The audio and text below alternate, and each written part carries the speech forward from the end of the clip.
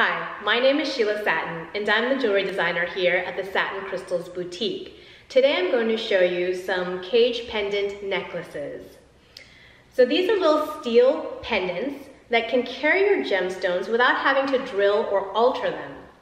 This one is a clear quartz, so you can carry your little crystal ball with you wherever you go. And clear quartz usually shows some kind of inclusion, so you can tell whether it's real or a fake. Quartz in crystal healing is known as the master healing stone, so it helps to enhance the aura and other positive energies. I also want to show you this moldavite crystal.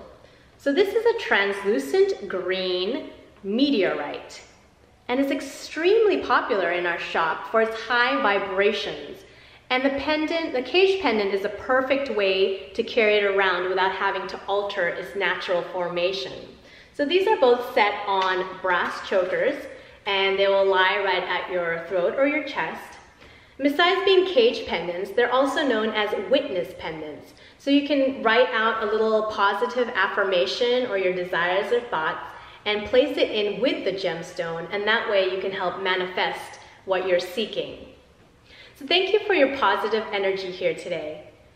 Come visit us at the Satin Crystals Boutique anytime.